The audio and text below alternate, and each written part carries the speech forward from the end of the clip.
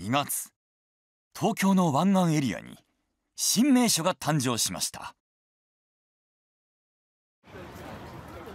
江戸の街並みを再現した商業施設豊洲千客万来です。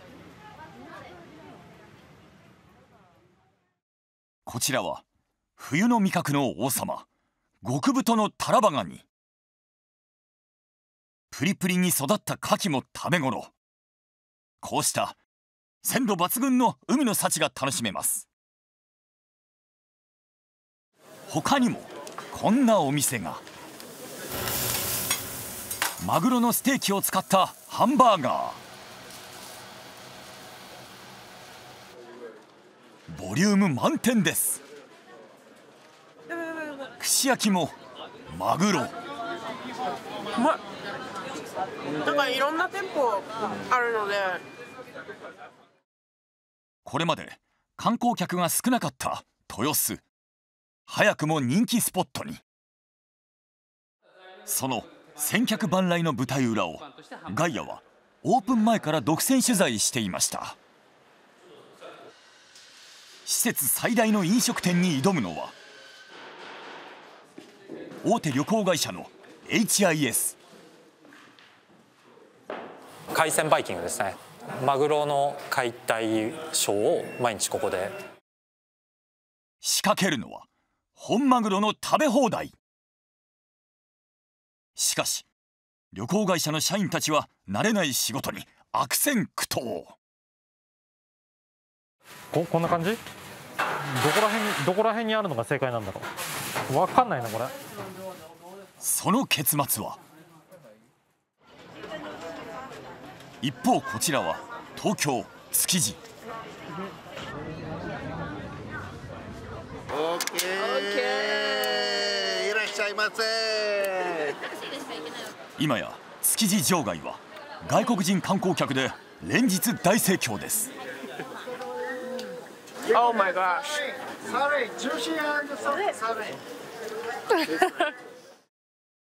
変わりゆく築地を憂いている人たちがいました上辺だけの商売を続けているとですね築地はそこの先未来がなくなっていくんじゃないかと。本来の姿を取り戻そうと立ち上がったのです。やっぱり僕たちの真面目なこれはでも外国人の人がね分かってほしいですね。江戸の伝統を受け継ぐ庶民の台所がここに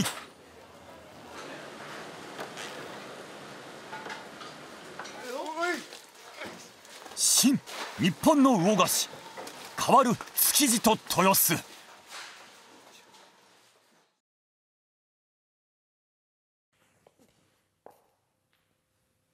日本の台所築地市場。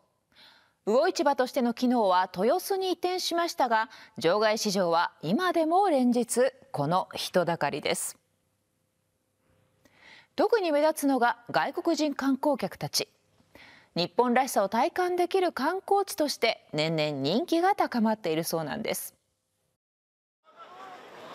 外国人に築地はなぜ人気なのか？And I see uh, YouTube videos where people come to the market.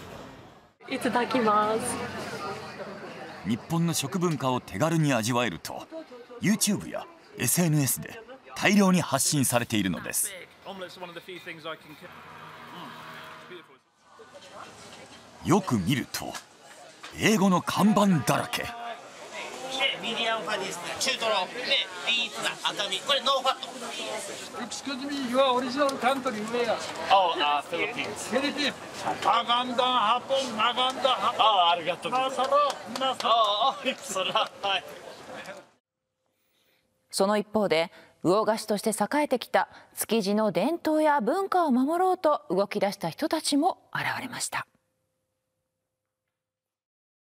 日本橋にあった魚菓子が関東大震災で消失し移転してきたことで築地市場は誕生しました。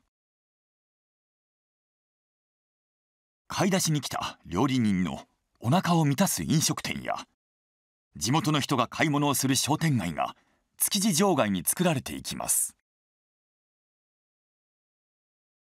しかし築地市場は6年前老朽化によって豊洲に移転しました。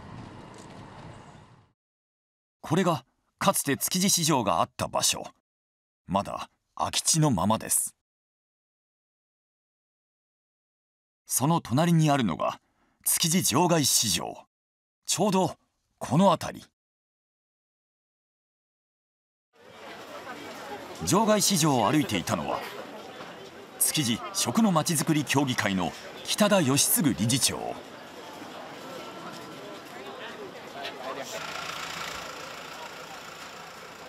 あのここは、ま、車が通る道なんですけどね。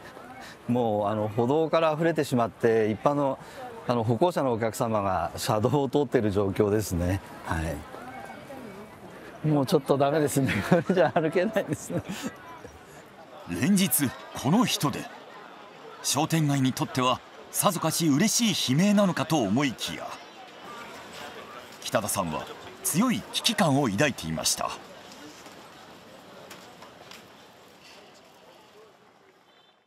最近外国人観光客を目当てにした店が急増しているというのです。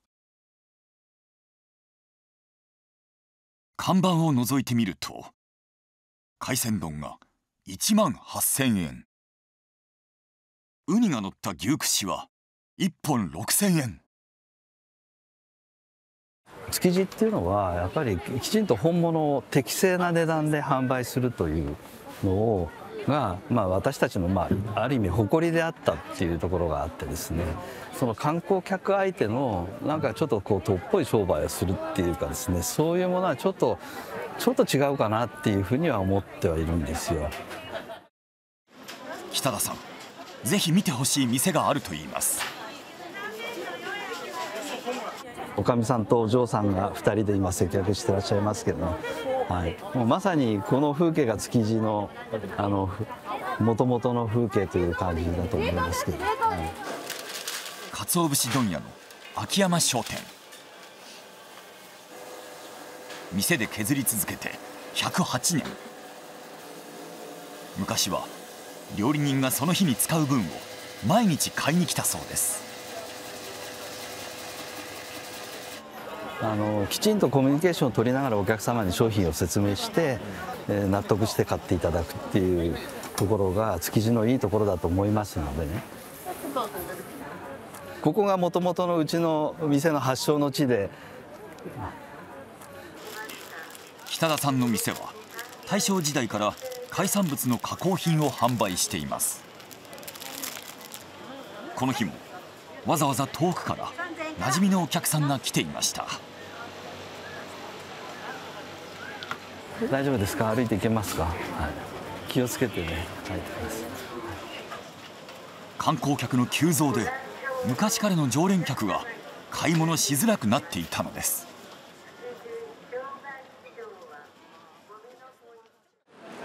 12月中旬。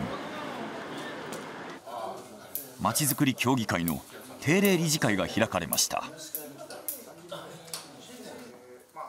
集まったのは代々築地で商売をしてきた人たちです。あの上辺だけの商売を続けているとですねおそらく築地はこの先未来がなくなっていくんじゃないかという不安もあります。街の魅力なり本物をどういうふうにこう説明していくかというところでですねあのの課題がずっと持ち続けていると思ってます。そんな築地の現状を何とかしたいと動き出した人がいました。